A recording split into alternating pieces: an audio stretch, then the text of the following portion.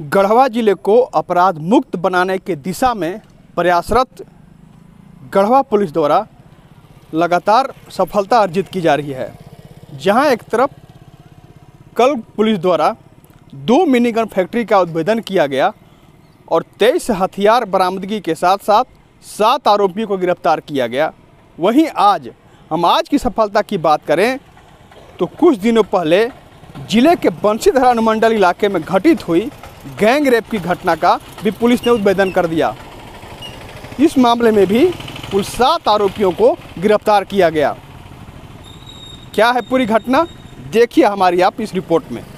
Police अधिकारियों के पीछे चेहरा ढके और हथकड़ी पहने, ये वही सात कुकर्मी हैं, ये वही सात दरिंदे हैं, जिनके द्वारा गढ़वा ज़िले के बंसीधर अनुमंडल इलाके में दरिंदगी की घटना को अंजाम दिया गया था।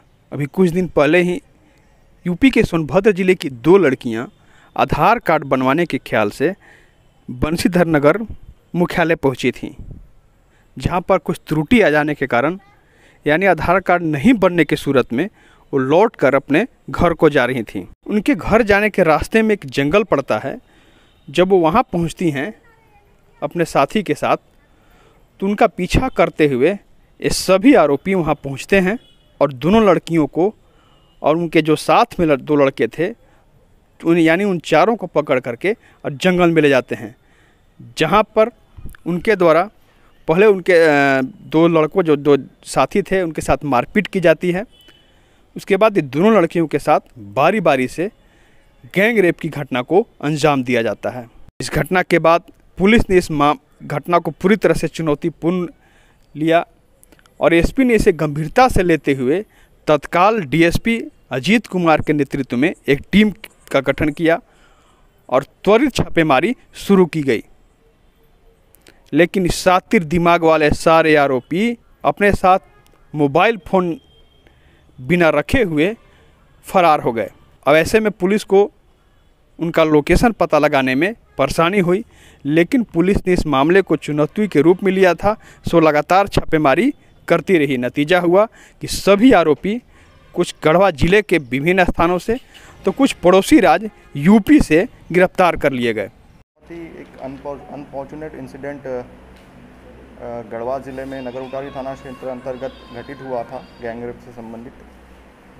तो ये बहुत ही चुनौतीपूर्ण मामला इसलिए था क्योंकि ये मामलों में जो एक्यूज थे, जो अभियुक्त थे, उनको विक्टिम नहीं पहचानती थी, यानी कि वो अज्ञात थे। इसलिए ये काइंड ऑफ़ ब्लाइंड केस था।